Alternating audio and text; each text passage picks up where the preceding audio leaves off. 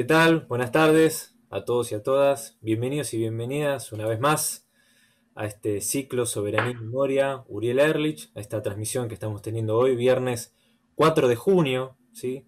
día muy, muy especial para nuestra historia, es una fecha que se ha repetido eh, en varias ocasiones.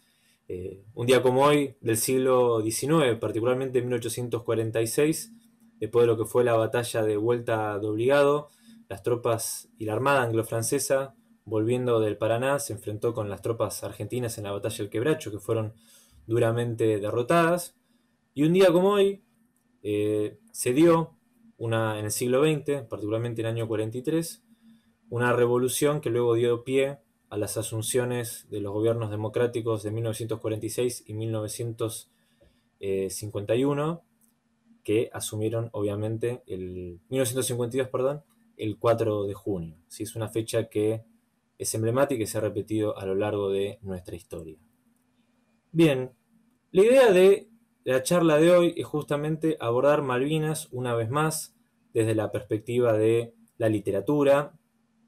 Eh, de alguna manera ya estoy anticipando quién es nuestra invitada del día de hoy. Así que bueno, la presento una vez más y arrancamos ya con el tema. Bienvenida, Victoria, ¿cómo andas? Muy bien, Juan Augusto. Bueno, siempre muy, muy contenta de estar acá y de contribuir a este ciclo. Desde acá, desde la distancia.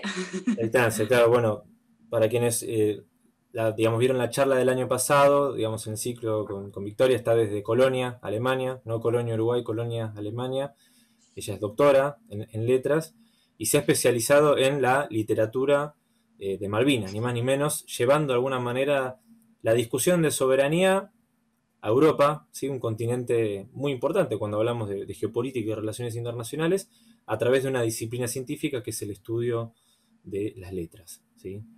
El año pasado, en, la charla del año pasado, eh, y cualquier cosa haceme acordar, eh, Vicky, estuvimos hablando de bastante de la literatura, hicimos como un pantallazo general, hicimos por ahí un foco en, las novelas relacionadas de Malvinas, donde vimos que claramente por ahí 1982 fue un año eh, que generó un impacto a posterior de la guerra en la literatura eh, argentina relacionada con Malvinas, desde todas las perspectivas. Pero la idea de hoy es focalizarnos y por ahí profundizar eh, un poco más de esos libros y esas obras que, vimos el año pasado y que han quedado de alguna manera en el tintero y que muchas personas me han manifestado que se han quedado con ganas de desglosar un poco más. Primero, para hacer una pregunta más de tipo general. ¿sí? Cuando hablamos de literatura y el estudio de, las letras como disciplina científica, ¿cómo ubicamos a la literatura que vamos a ver hoy, que es que está dedicada a un público en particular? ¿sí? Un público joven, un público infantil. ¿Es un género literario? ¿No es un género literario? ¿Cómo lo llamamos? Y a la hora de estudiarlo, ¿qué conclusiones se sacan respecto de esto? Bueno, es una pregunta, por supuesto, muy difícil de responder así en breve, pero bueno, voy a tratar porque eh, creo que, es, importante. Eh, a mí me gusta hablar de una literatura y le tomo prestada la expresión a una eh, escritora argentina, María Teresa Andrueto, una escritora de Córdoba, que ha escrito mucho literatura pensada ¿no? para, para, para, los más jóvenes.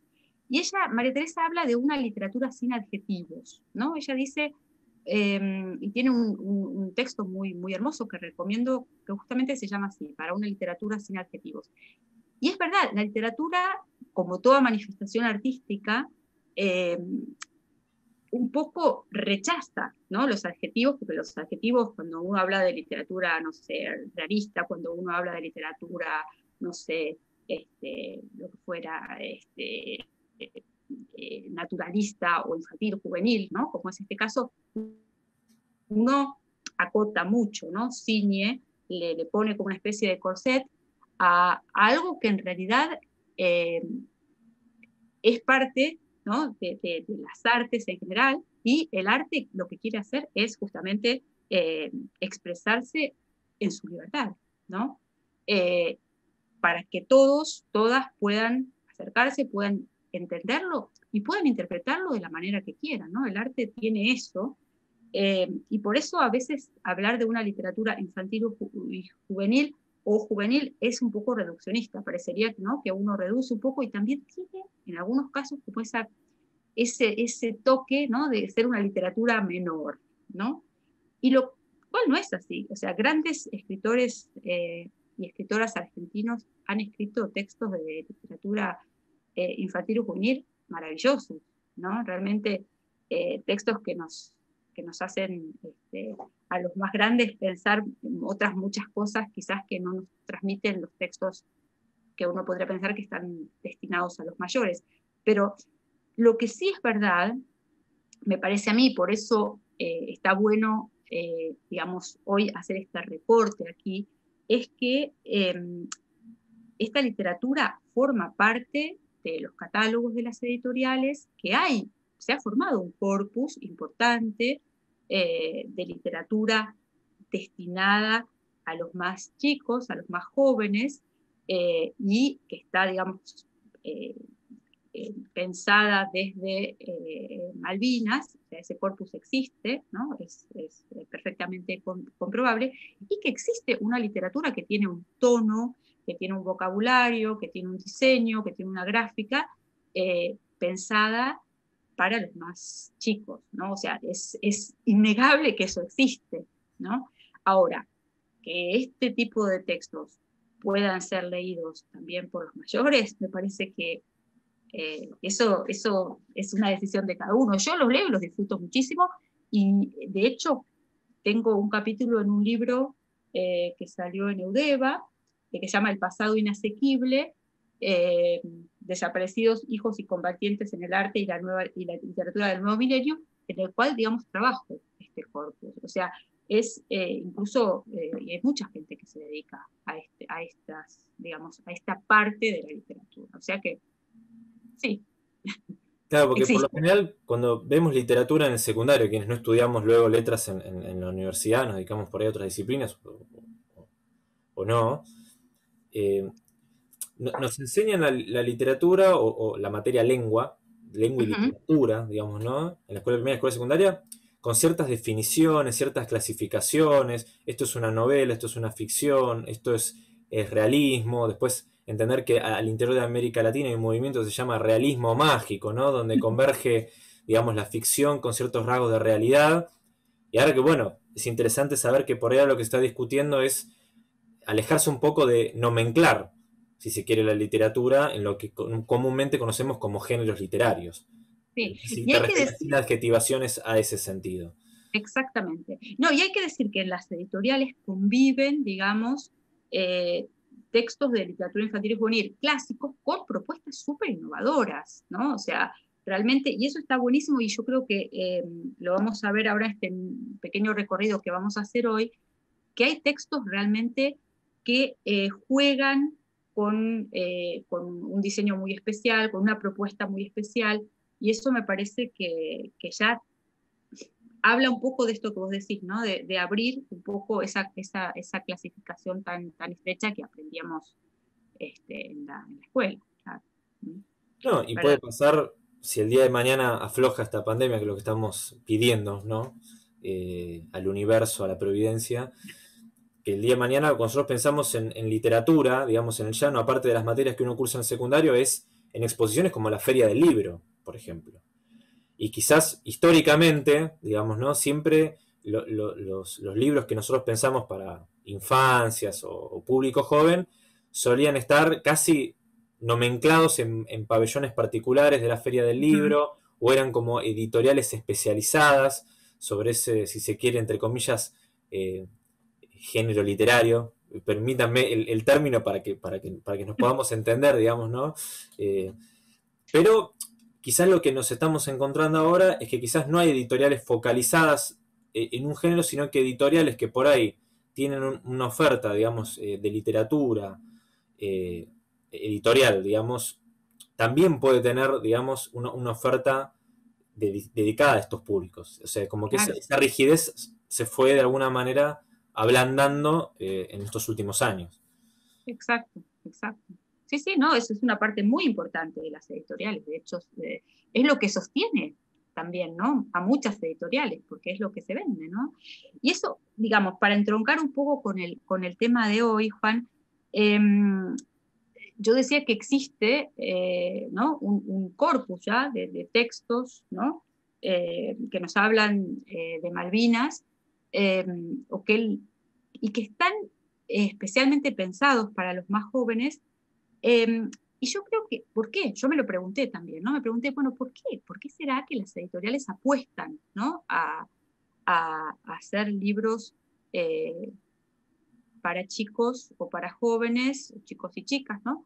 Em, sobre este tema. Y me di cuenta de que porque es muy fácil, eh, cuando uno va eh, por cualquier ciudad en la Argentina, ¿no? el hecho de ver, eh, no sé, carteles, murales, ¿no? que refieren a, nuestras Malvinas.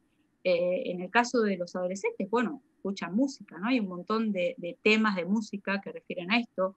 O, no sé, el otro día una de mis hijas me, dice, eh, mamá, en la camiseta de River tienen una, están, ¿no? están las Malvinas, ¿no? O en, no sé, eh, bueno, yo soy de La Plata y en, el gorrito de Maradona también, eh, en el gorro, el último gorro que tenía de, de Gimnasia Esgrima de La Plata, también estaban las Malvinas. Entonces, los chicos se dan cuenta de eso y te preguntan, dice, ¿no? ¿Y las Malvinas, mamá? ¿Qué son las Malvinas? ¿No? ¿Y por qué las Malvinas? Digamos, está tan presente y está tan en el ADN nuestro, ¿no? Que, em, que está bueno tener un apoyo, ¿no? Em, en la, como familia, digo, como mamá, como papá, como, ¿no? Eh, dentro de la familia de un libro decir, bueno, ¿sabes qué? Te voy a contar algo sobre Malvinas. Eh, Ahí te sumo, permitime.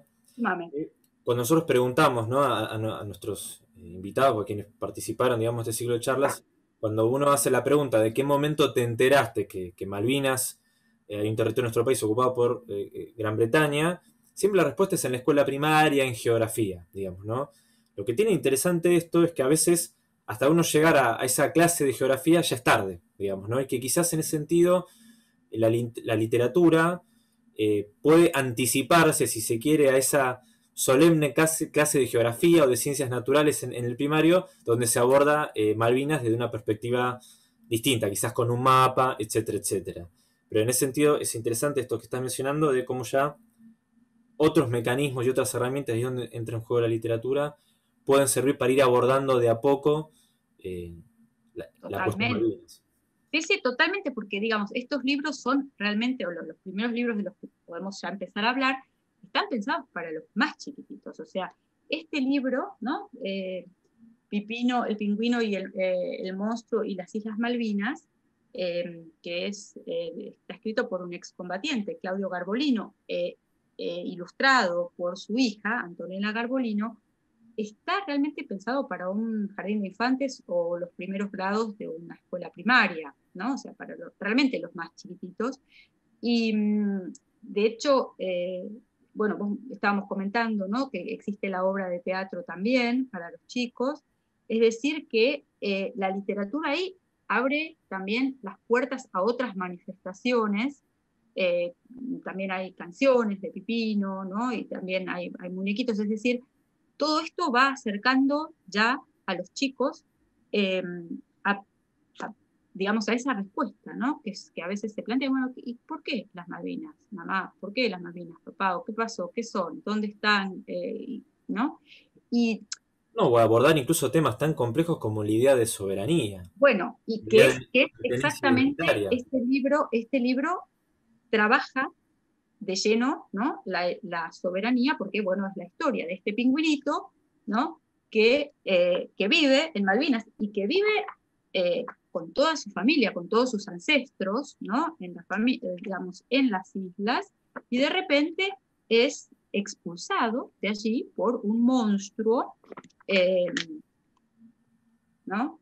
Con pirata, que tiene, es una especie de compendio de todos los malos de, ¿no? de, que los chicos conocen de los cuentos, ¿no? es una especie como lobo feroz, pirata, etcétera, etcétera, y es expulsado em, así, sin mayor explicación, de su, territorio, de su hábitat, y entonces, em, ¿qué es lo que hace él? Él eh, convoca ¿no? Primero a otros animales autóctonos, ¿no? Como las ballenas, ¿no? Como los pájaros de las islas, etcétera, etcétera, y luego otros animales argentinos, ¿no? El ñandú, la mulita, etcétera, etcétera, les pide que, eh, que, bueno, que lo ayuden un poco a hablar con este monstruo, monstruo que además no habla, que eso es muy interesante, ¿no? Que se resiste al diálogo, que gruñe, nada más, y entonces así, a través de, em, de, esta solidaridad que se gesta en los animales, porque además después se van uniendo más animales de otros continentes, etcétera, etcétera, eh, los chicos pueden, digamos, eh, entender, bueno, ahí hubo una expulsión, hubo una expulsión injusta, eh, hubo una expulsión violenta, ¿no? Y hubo una expulsión que si bien no se soluciona, porque el libro no te ofrece, digamos, una, un final feliz, pero sí te ofrece por lo menos esa idea de que la solidaridad, ¿no? Entre todos, la solidaridad también entre los pueblos, y que en algún momento esa justicia va a estar, que en algún momento, digamos, contra esa violencia, ¿no? Eh, hay una posibilidad de recuperar. Y me parece que eso es realmente una, una cosa muy, este, muy, muy linda y también es un medio para explicar a los chicos muy claramente eh, acerca de la soberanía ¿no? de nuestras islas. Y ahí te agrego, mientras que vamos avanzando con, con, este recorte que estamos haciendo en términos literarios. La mayoría de estos libros, ¿sí? Se editaron en los últimos, ¿cuántos? ¿10 años más o menos? Es interesante esto, porque cuando nosotros vimos, hicimos la charla pasada y vimos por ahí el, incluso el impacto de la guerra como hecho, digamos, de, nuestra historia reciente en la literatura en un sentido amplio, en las novelas, la mayoría destinada para, para un público, si se quiere, adulto, desde los pichiciegos hasta, bueno, digamos, eh, antologías que tienen que ver con relatos de la guerra en primera persona. Eh, cuando hablamos de, de, literatura de estas características, es un fenómeno reciente dentro de todo. Corregime si me equivoco, si es que hubo algún boom editorial de literatura infanto-juvenil relacionada con Malvinas en los 80 o en los 90. Eh, no, no. Yo creo que es, es algo reciente y yo también me pregunté acerca de por qué.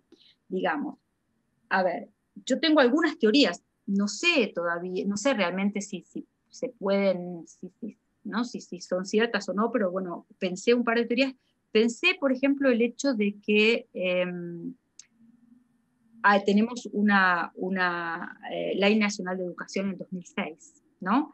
Que dispone que la causa de la recuperación de nuestras Islas Malvinas, Georgia y San Luis del Sur deben formar parte de los contenidos curriculares comunes a todas las jurisdicciones del país. Entonces, me parece que las editoriales que están también de alguna manera pensando, ¿no? ¿Cómo vamos a facilitarles? Porque hablábamos recién de, bueno, de, las familias, ¿no? De los chicos más chiquititos que de repente te preguntan, mamá, papá, ¿qué son las Islas Malvinas? Pero también hay, digamos, eh, en la escuela, los maestros, es un tema que está en el, currículum, ¿no? Hay este, un día que, eh, digamos, que conmemora también, ¿no? A, los caídos en la guerra. Entonces, eh, yo creo que las editoriales están atentas a eso están atentas, ¿no? Porque además muchos de estos libros también, no por ahí tanto los libros para los más chiquitos, pero los libros para adolescentes sí tienen materiales didácticos, ¿no? Que eh, se hacen capacitaciones también para los maestros. Es decir, yo creo que ahí se han juntado varias cosas.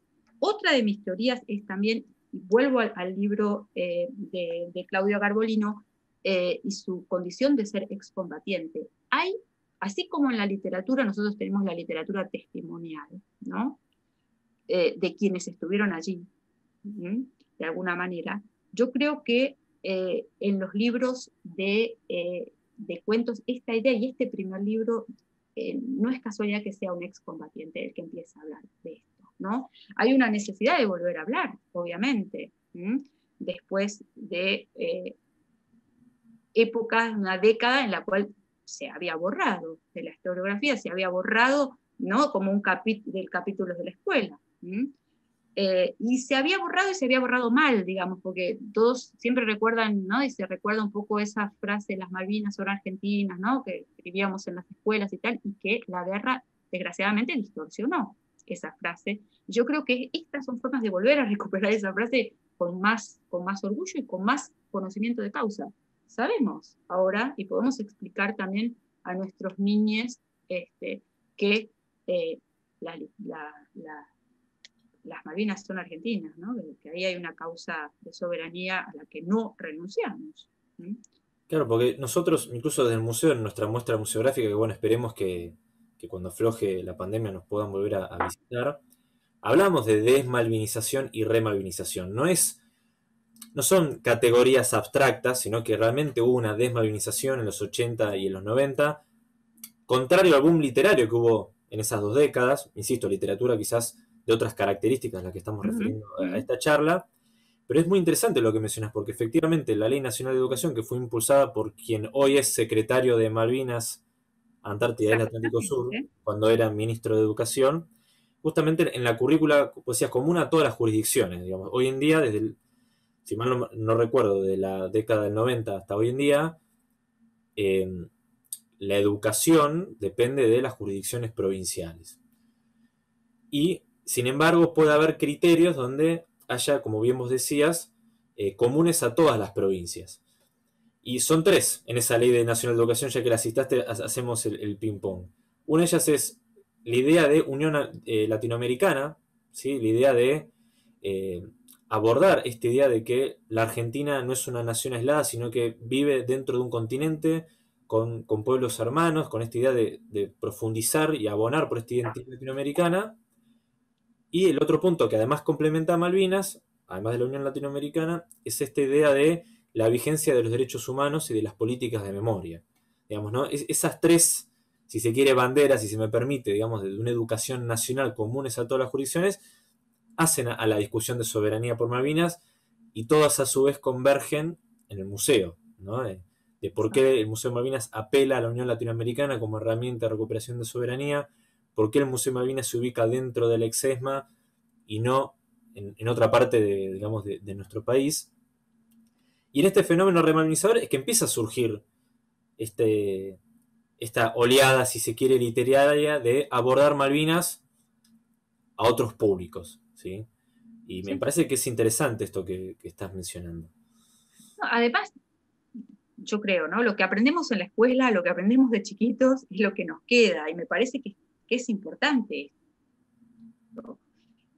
Y es importante, eh, además, porque yo creo que a través de esto, no es una cosa forzada, es lo que yo te decía, los chicos preguntan, ¿no? Los chicos, las chicas preguntan. Y está bueno tener un material para poder, para poder de alguna manera, yo no te digo dar respuestas, porque eso es lo bueno también, y volvemos al, quizás al primer punto del que hablamos, ¿no? No es poner etiquetas y decir, bueno, esto es esto, no, es también eh, ayudar a, reflexionar, ¿no? O sea, yo, yo estoy hablando con vos y, también sigo pensando y estoy pensando en estos libros y digo, claro, y vuelvo a darle una vuelta de tuerca a esto que yo tenía pensado a partir de estos libros. Y me parece que el hecho de que estos libros te hagan dialogar acerca de algo ya es, es enorme. Entonces, yo creo que sí, ¿no? Eh, y siempre trabajando, y eso, me, eso es lo que me, me fascina, y por ahí, ahí también suma ¿no? este recorte que hacemos. Eh, con una economía lingüística impresionante, ¿no? Porque las novelas para de las que hablamos, ¿no? Perdón, explicarle a la gente qué es economía lingüística. Para ah, ¿qué es economía lingüística? No, decir las cosas en pocas palabras, para decirlo de una manera, ¿no? O sea, eh, esa es la economía lingüística. Es decir, trabajan con muy pocas palabras. Eh, el cuento este, que en realidad no es un cuento, son, este es un libro álbum, ¿no? Hoy, les decía yo un poco de, de, este, de, estos nuevos, estas nuevas este, propuestas que hay, ¿no? En, las editoriales, porque este es un libro álbum, los libros álbum también, explicado de una manera muy eh, simple, son los libros que conjugan un texto con un, una ilustración, ¿no? como una guerra es, está, el texto es de Andrés Obico, las ilustraciones son de Paula Adamo, y a veces el texto y la ilustración van como por dos lugares diferentes, ¿no? O sea, son, hay, esto es la economía lingüística, ¿no? ¿no? Tres palabras, le digo a mi amigo que sí, ¿no? Y luego, este es el, la imagen, ¿no? O sea, imagen y texto a veces van contando dos cosas diferentes y luego se unen o no, o se unen en la cabeza del lector, ¿no? Claro, la imagen como también parte de la literatura y el lenguaje, digamos, no solamente el lenguaje entendido como una palabra escrita, quizás en un momento donde, me imagino, ¿no? A los cuatro, cinco, seis años aprendemos a leer, aprendemos a escribir, sino el lenguaje comunicado a través de, las imágenes, ¿no? Y sobre todo en este caso las ilustraciones. Exactamente. Y, mm, este, digamos, este, este libro, por eso se llama libro álbum, ¿no? es eh, esta, esta conjugación. Em, acá em, Andrés se lo dedica, a mí me, gustan las dedicatorias, ¿no? En el caso del libro de Garbolino está dedicado a su nieto, por eso hablaba un poco eh, de, esta, de este también eh, traspaso ¿no? intergeneracional, ¿no? de, esta, de este, este, dar testimonio. ¿no? Él es combatiente que da testimonio primero en el núcleo de su familia y luego, unos años más tarde, aparece un libro como este, en 2012, ¿no? también eh, digamos, las conmemoraciones siempre son propicias también para las editoriales, ¿no? para sacar libros. Em, está dedicado em, a, dice, dice la dedicatoria a quienes, eh, a, todos los chicos que estuvieron y a los que de alguna manera aún están allá. O sea, amplía un poco el espectro, ¿no? Sale de, la voz del excombatiente y su familia para eh, ir un poquito más allá, un poco ¿no? Más allá, y em, aborda otra arista, ¿no? Que es eh, esa arista que, vos marcaste muy bien a partir del 82, que es em, la problemática de quienes volvieron de la guerra, ¿no? Y cuenta muy brevemente la historia de un niño a quien viene a buscar otro niño, em, y eh, entonces empieza el libro así, ¿no? Con esa frase, le digo a mi amigo que sí, pero el niño que viene a buscar a, este niño para jugar,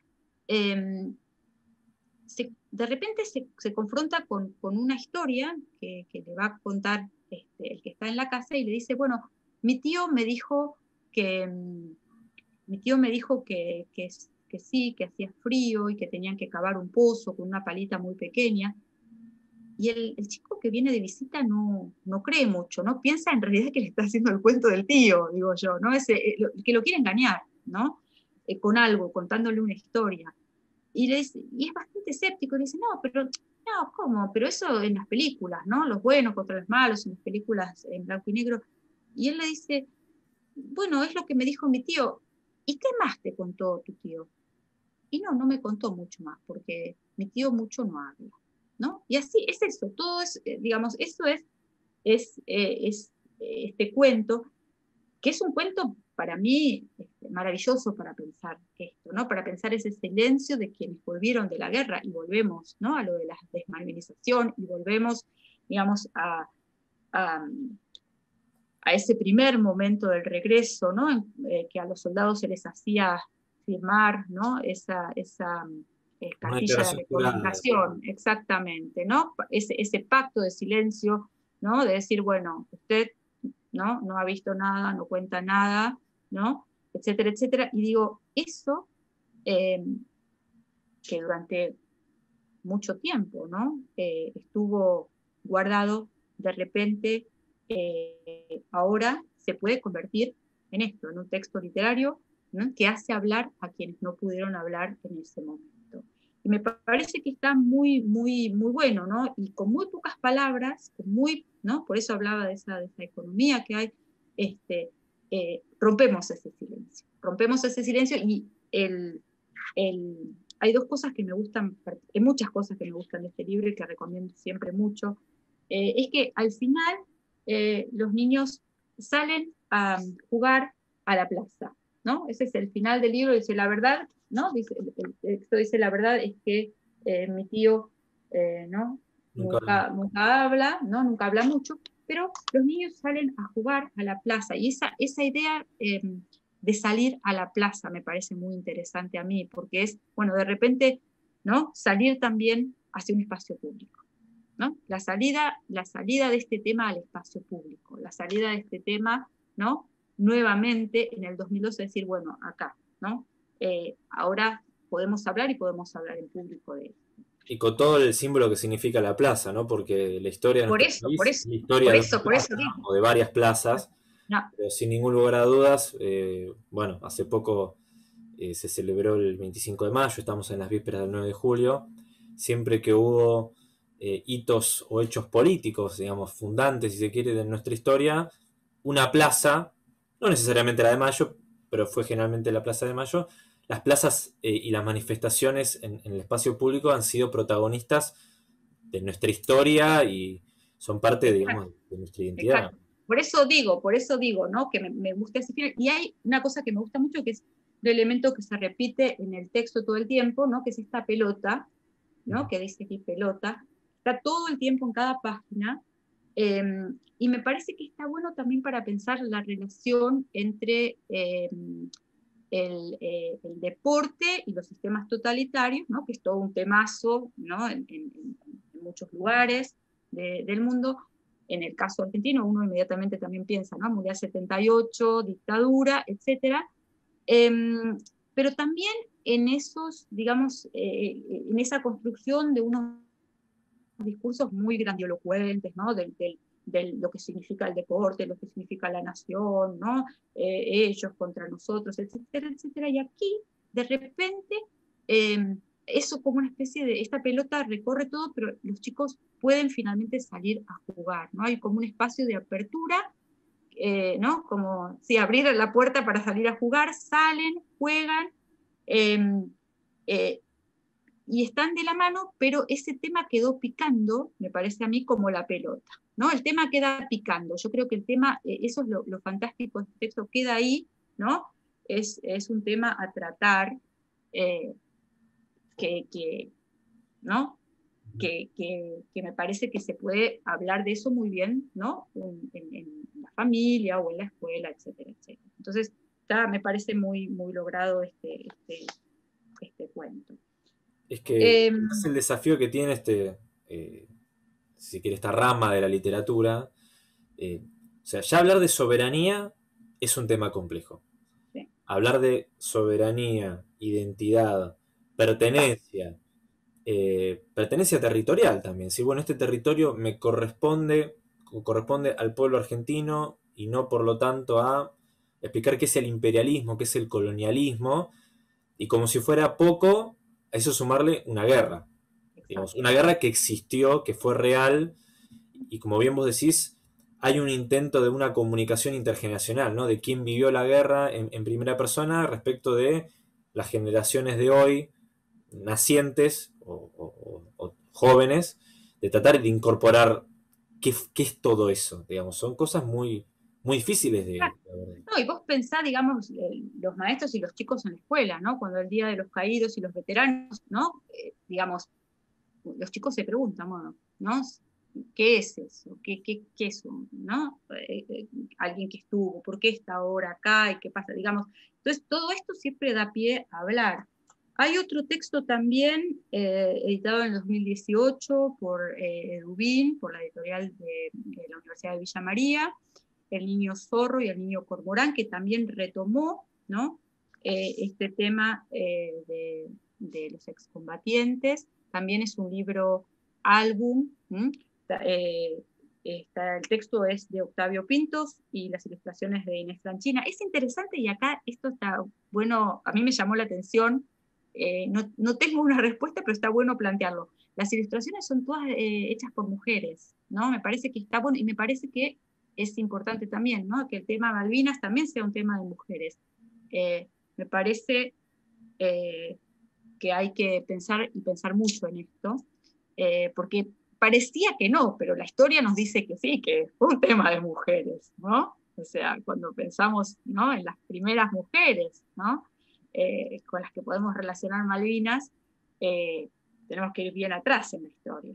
Bueno, sin ir más lejos, cuando hablamos de literatura de Malvinas, hablamos del diario de María Sáez como hito literario por excelencia y fuente historiográfica al mismo tiempo, como la literatura del siglo XIX, hoy ya con el diario Lunes es una fuente historiográfica, pero cuando pensamos en la vida cotidiana de Malvinas, inmediatamente nos referenciamos con, con, María Sáez.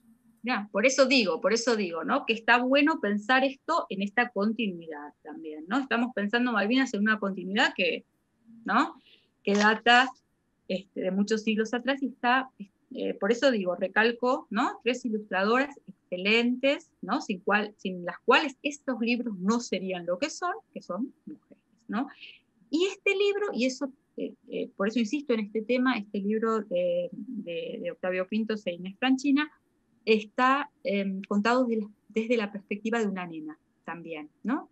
que es la hija de un excombatiente em, y que, em, digamos, cuenta, ¿no? Cómo eh, ella siente que dentro de su padre vive un, niño zorro y un niño cormorán que eh, a veces están un poco ahí en disputa, que no se sienten muy bien donde están, eh, porque, bueno, han estado en la guerra y allí los animales, ¿no? los animales primeros del libro de Garbolino se convierten en otros animales, este, mucho más monstruosos, ¿no? porque son animales que no son animales en realidad, sino hechos por el hombre. La ballena es un submarino, ¿no? Eh, y eh, los pájaros son los aviones de guerra. Entonces hay como toda una, este, una, una hay, eh, unas imágenes muy fuertes también, ¿no? que permiten también hablar de toda esta destrucción de, de ese espacio. Es muy interesante, perdón, no sé si es algo general, ¿no? Pero e, e, el uso de fauna o animales como recurso literario. No sé si es algo general a todos los, cuentos de estas características, pero se ve que es algo recurrente e, el uso de animales como, como metáforas o, como recursos ¿no? literarios para explicar algo. Para los chicos es más fácil, los chicos chiquitos, ¿no? porque digamos, estos tres libros de los que estoy hablando eh, son realmente para los más eh, eh, pequeñines, ¿no? o sea, nenes y nenas, yo calculo entre 3, 4, 5 hasta 7, 8 años. Entonces, claro, el animal es algo muy, ¿no? Eh, como muy fácil de aprender, ¿no? De, internalizar. es, es, es, eh, es, verdad lo que decís, claro, se recurre mucho a eso, ¿no? Eh, y además porque, bueno, identificar también nuestra ¿no? flora y fauna del sur ¿no? con, con, este tipo de animales. Entonces está bueno también. Em, al, final, digamos, eh, me gustaría quizás pasar, porque tengo más, tengo mucho, yo puedo hablar mucho, ¿no? Me engancho mucho con la literatura, pero, em, y como ven, digamos, se puede hablar mucho de, de, esto que llamamos literatura infantil. Da para hablar mucho y da para pensar muchas cosas. Eh, y, eso, en, esa unión ¿no? de, las, imágenes también eh, con el texto, que no te, por ahí no te lo permite tanto la literatura eh, pensada más para los adultos. ¿no? En el caso de los textos em, para jóvenes, ¿no? Pasa un poco lo contrario, justamente. Em, yo hablaba, insisto, esto de la economía lingüística, bueno, acá en textos para, eh, para les jóvenes hay una profusión ¿no? De, narración. Se narra se narra se narra se narra y se narra y se cuenta muchísimo. ¿no? Em, fundamentalmente tres novelas he encontrado yo en, mis investigaciones. Eh, ¿Tienen ilustraciones al interior? No, no tienen ilustraciones. Es un vuelo sin escala, ¿no? Digamos, de es un vuelo sin mm. Pasamos de economía lingüística, voy a, retomar tus términos, economía lingüística e ilustraciones, una especie de coautoría entre eh, las ilustradoras, porque mencionaste que eran todas mujeres, y la autoría del, del texto que eran en su mayoría varones, a una narrativa, texto, sin A una narrativa. Bueno, en el, en el último, sí, después puedo mostrar, hay algunas ilustraciones en blanco y negro que no son en realidad, si algunas podrían ser ilustraciones, sí hay algunas ilustraciones, ¿no? Sí, en este último sí hay algunas cosas, pero, es verdad... del texto, de la escritura, digamos. Sí, es, es el texto ¿no? O sea, en, este texto, en el primero, en Nadar de Pie, de Sandra Comino, que es del 2012, em, perdón, del 2010, eh, no hay nada, no hay absolutamente nada, ¿no? Y en el de, en el de Franco Baccarini, que es el, este es del 2012, nunca estuve en la guerra, lo que hay es un apéndice, que eso está bueno también, eh, escrito por Jorgelina Núñez, que se llama Un poco de historia, ¿no? Y en donde se cuenta, eh, se cuenta sobre todo eh, del 2 de abril en adelante, ¿no? pero tiene ese apéndice histórico, que por supuesto es una apoyatura importante tanto para quienes leen este libro como para quienes eh, enseñan también, ¿no? Entonces complementan con otra cosa, que me parece que está más pensada justamente para un lector, una lectora eh, que por ahí mm, ya tiene otra edad, ¿no? Y no se tiene que apoyar tanto en el dibujito. Em, en el caso del libro eh, Rompecabezas, que es del 2013, de María Fernanda Maquieira, Em, está pensado para eh, chicos y chicas desde los 12 años. ¿no? Es interesante también porque los tres están en tres colecciones para jóvenes. Y digamos, este por ahí tiene, sí, es verdad, tiene algunas ilustraciones en blanco y negro, pero hay algunas ilustraciones eh, medio esporádicas, pero las hay también. Em, y, me parece que es, que es interesante. Bueno, también ahí termina en la plaza. También termina en esa plaza de la que vos este, hablabas, con esta ilustración de esta plaza, ¿no? Em, nadar de pie, em, digamos, a ver, para retomar y no irme después por las ramas con cada uno de los libros, em, hay, hay, un par de cosas interesantes en esto de por, por qué hay, hay, hay, más textos. Me parece que uno de los motivos es justamente porque los adolescentes o jóvenes también quieren más respuestas, ¿no? O sea, quieren, preguntan, ¿no? Y sus, respuestas exigen un poco más de explicación, con más profundidad, ¿sí? Ahí es esa, esa cuestión a la que nos enfrentábamos, de que era un poco más difícil explicarle a un niño o niña de 4 o 5 años, digamos, aquí me parece que eh, no está, entonces, por eso todos estos textos explican todo, ¿no? O sea, eh, eh, explican, explican mucho. En los tres textos, los tres textos están protagonizados por adolescentes, ¿no? O sea, hay un proceso de identificación muy fuerte, ¿no? Que también busca la literatura juvenil, que es un clásico, ¿no? Que cuando uno es joven lee y se, identifica mucho con el personaje, con el protagonista de ese libro. ¿no? Ese es un mecanismo que utiliza la literatura juvenil.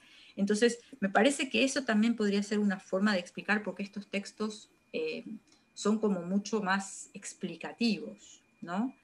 Eh, además, y eso, los tres eh, textos, los adolescentes que son protagonistas, ¿no? que, que una, chica en el libro de Sandra Comino y también en el libro de María Fernanda Maqueira, y un chico en el caso del libro de Baccarini, eran adolescentes en los años 80. Están los tres ambientados en esa época eh, y entonces, bueno, hay que explicar un poco más, porque hay que explicar esa época, ¿no? Entonces. O sea, son personajes jóvenes en la inmediata posguerra.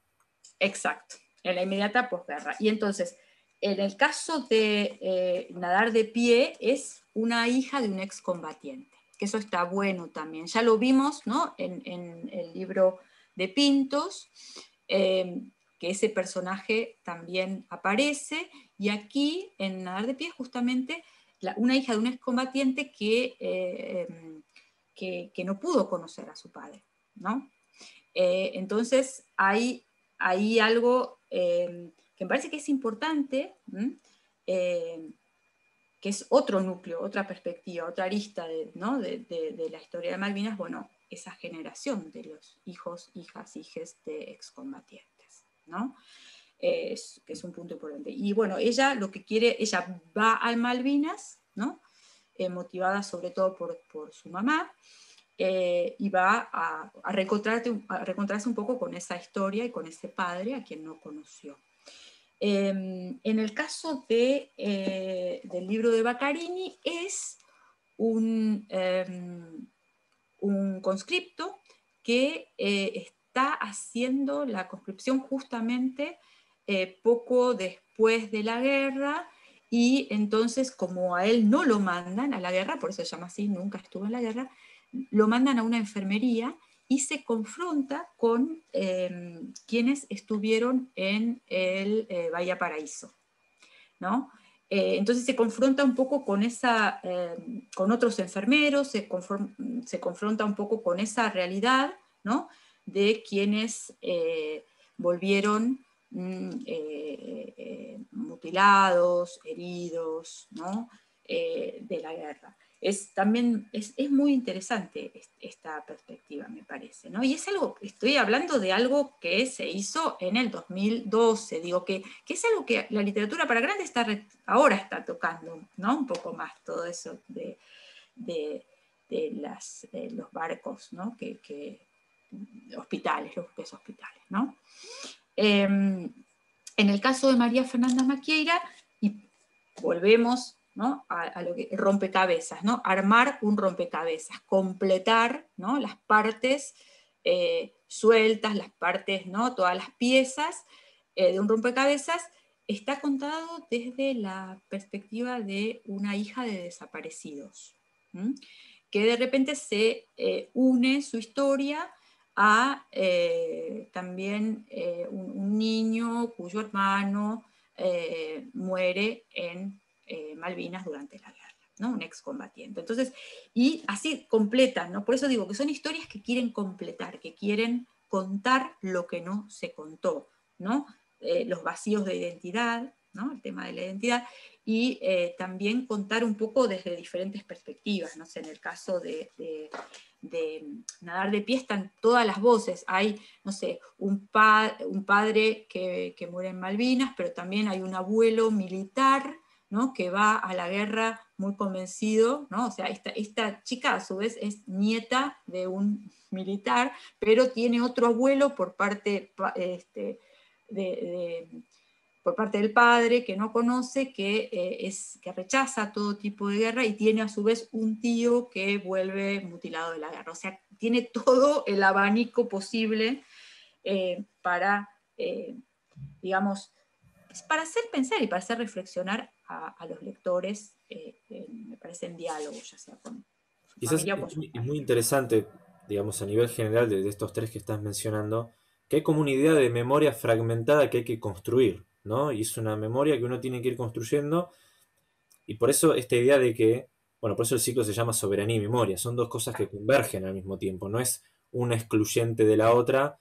Cuando hablamos del reclamo de soberanía por Malvinas y hablamos de la memoria respecto de, nuestra historia reciente, sobre todo cuando hablamos de un hecho tan trascendental, digamos, ¿no? En estos últimos tiempos de lo que fue la guerra del año 82, en el contexto de la última dictadura cívico-militar, digamos, ¿no? es convergen, digamos, muchos hechos que, bueno, que por eso cuando hablamos de memoria hablamos de esto que vos mencionabas, la transmisibilidad de una generación hacia la otra, de tratar de explicar qué pasó y de alguna manera de la historia como un proceso de aprendizaje y de asimilación también, ¿no? Sí, totalmente, totalmente. Em, y me parece que eso es lo que intenta este libro, ¿no? Hasta ahora hablamos, bueno, de cuentos, hablamos de novelas, y aquí estamos en presencia de una antología, también aparecida en el 2012. Eh, son nueve cuentos de, grandes eh, autores eh, y autoras argentinos, ¿no? Marcelo Birmacher, Liliana Bodoc, Pablo de Santi, Juan Forn, Inés Garland, Pablo Ramos, Eduardo Sacheri, Patricia Suárez y Esteban Valentino, Em, algunos pensados eh, para esta eh, antología, digamos, ¿no? inéditos y eh, expresamente escritos para esta antología, y otros que ya existían. ¿no?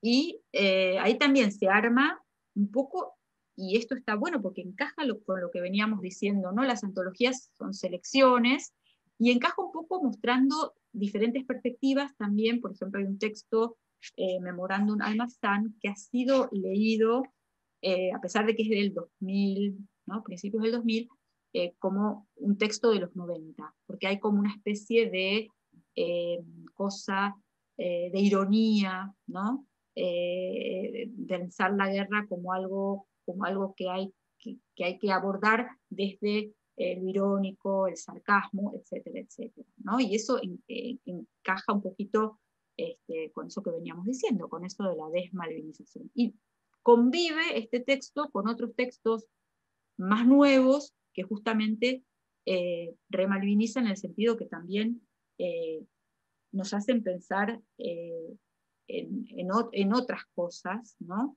que por ahí no se habían tocado, que se habían querido acallar en esos 90. Es un libro, los textos, de, los cuentos fundamentalmente trabajan la, figura del excombatiente, ¿no? Eh, el regreso, la vuelta. Y lo, que me gusta de este texto es eh, sobre todo el, Bueno, hay muchas cosas que me gustan ¿no? de este libro, pero hay, algo que me parece que es importante sumarlo, agregarlo a, a este este abanico que se abre con, con, los textos de ficción, que es el prólogo, que es de Eduardo Esteban, el director actual del museo, Y que justamente habla de eso, habla de eso que vos dijiste, de cómo, cómo, cómo hacer para transmitir esta historia a la otra generación, y el deber de hacerlo, de alguna manera, ¿no?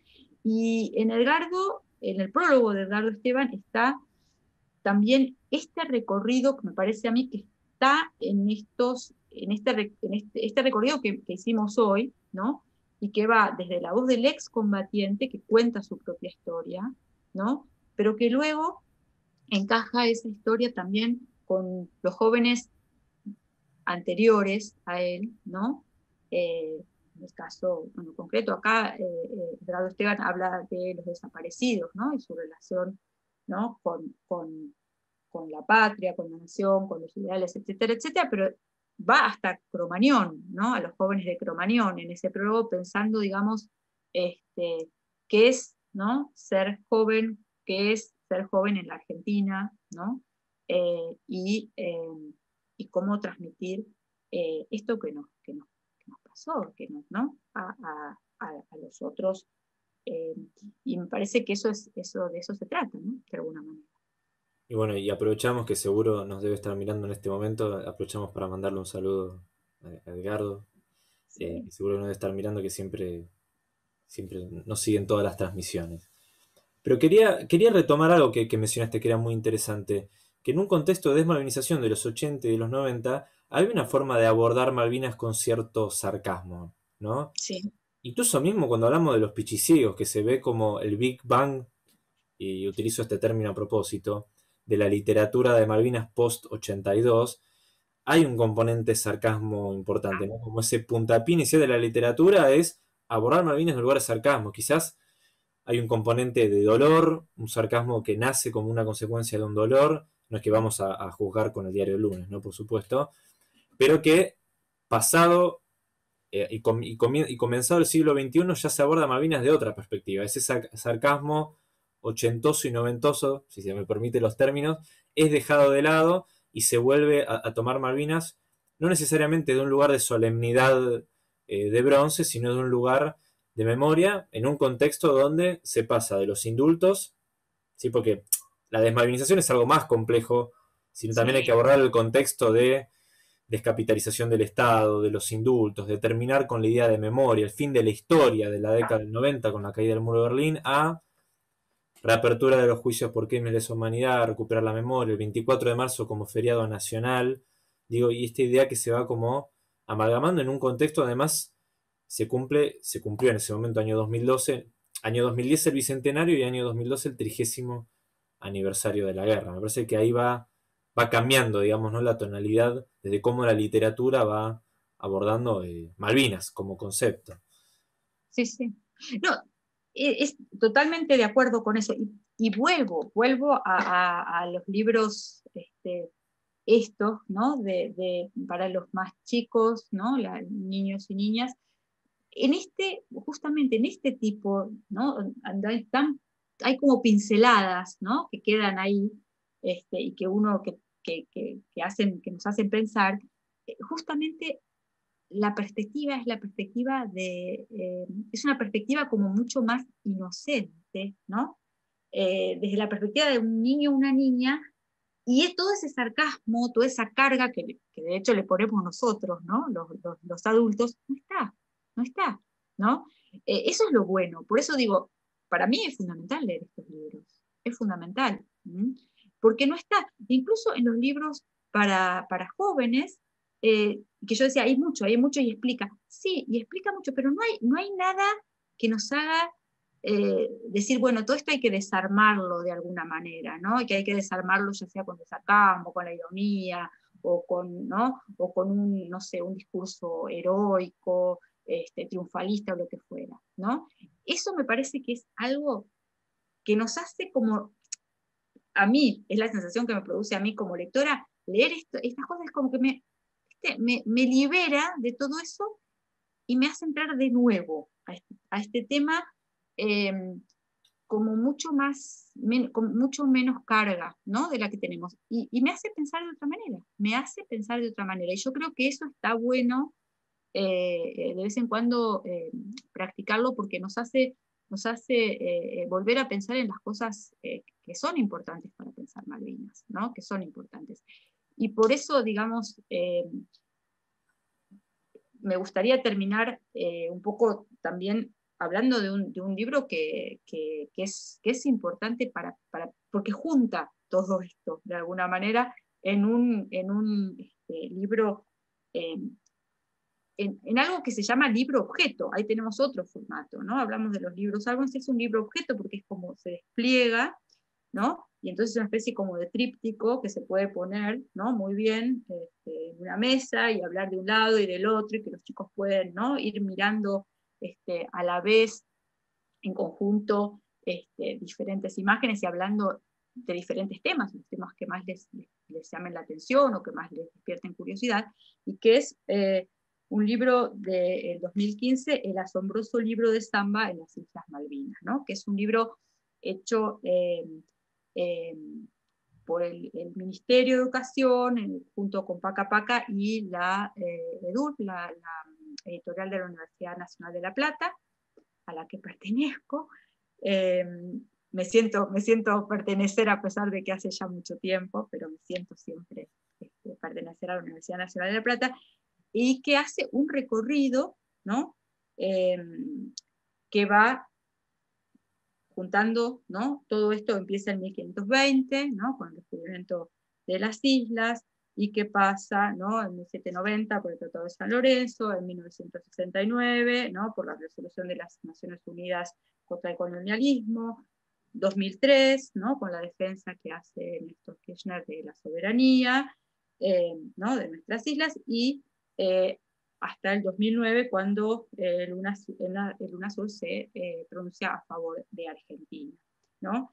Y me parece que, eh, que es un libro que junta todos los temas y que es muy, que ofrece muchas respuestas también, ¿no? y que nos hace, nos hace, nos hace saber más sobre algo que, sí, sobre lo que tenemos que saber porque, ¿no? porque nos pertenece. Claro, que además es un libro, eh, me imagino, el que está basado en el capítulo de la asombrosa excursión de Samba en el Museo Malvinas, para diferenciar del capítulo en Malvinas. Está más inspirado en la excursión de Samba en el museo, donde cuenta esta historia larga de Malvinas. Y que creo yo que, digamos, el año que viene se van a cumplir 40 años de la guerra de Malvinas. Eh, necesariamente va a haber un nuevo boom eh, editorial, que un poco ya lo estuvimos charlando desde a lo largo de las charlas del museo de que es como una especie de doble boom, si se quiere. Utilizo la palabra boom porque es propio de la, literatura, me es ajena, digamos, no es mi disciplina, pero es esta idea de remalvinización por un lado, ¿sí? esto que va, eh, digamos, latiendo y forjándose de a poco, donde quizás 2012 y 2022, trigésimo aniversario, digamos, ¿no? y los 40 años del año que viene, van a tener, digamos, un impulso, pero con este desafío también, ¿no?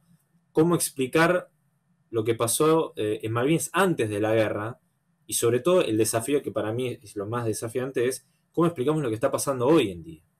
lo quizá lo que tiene interesante el libro de Samba es por un lado abordar toda la previa de la guerra, que son 400 años de historia antes de 1982, si tomamos como punto de partida, supongamos el Tratado de Tordesillas de 1494, el descubrimiento español a comienzos del siglo XVI, y esta idea de Malvinas como causa latinoamericana, como caja de resonancia en organismos de integración, ¿sí? la UNASUR, Mercosur, ALBA, CELAC, eh, en el siglo XXI, año 2009.